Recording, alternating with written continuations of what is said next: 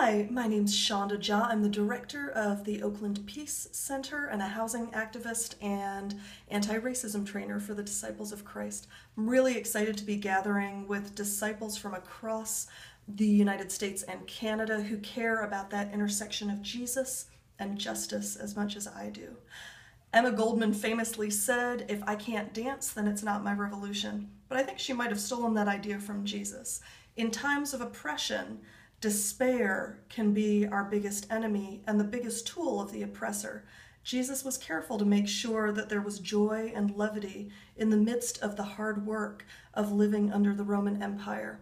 I hope that we can learn from him and from each other about how we can bear the yoke of justice lightly together.